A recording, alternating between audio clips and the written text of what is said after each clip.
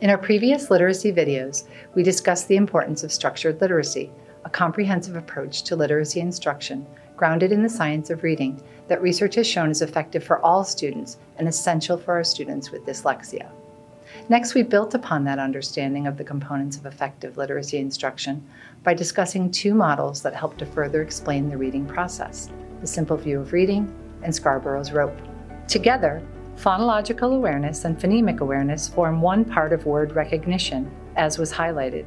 These foundational skills focus on identification of phonemes, which are the sounds in spoken words, and how they link to letters, or graphemes.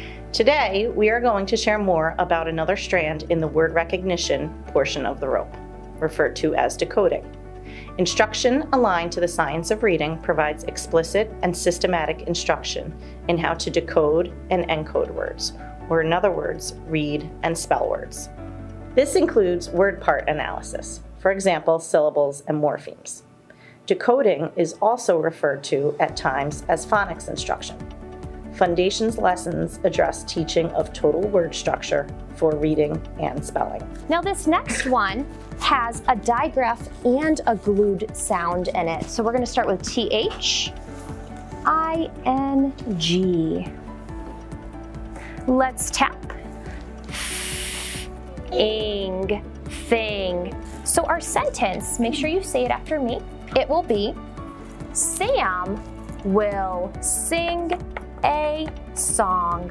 Say that with me. Sam will sing a song. After you finish writing, go ahead and go ahead and scoop it to practice reading it. Sam will sing a song. I'm looking for a word that has two syllables in it today. Nice job. What is my word? No, reptile. Reptile. Could you write the word reptile on the whiteboard and show us how you scoop it and mark it? How are you going to scoop it? Excellent.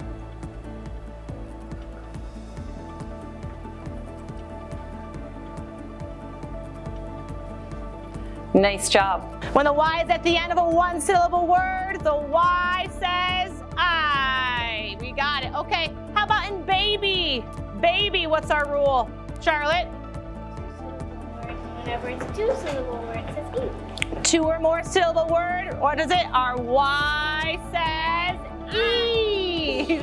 Two or more, Y says E. Okay, next one. Let's stretch it. Ready?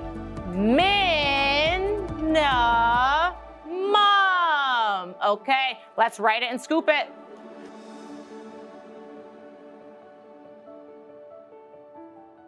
Thank you for joining us.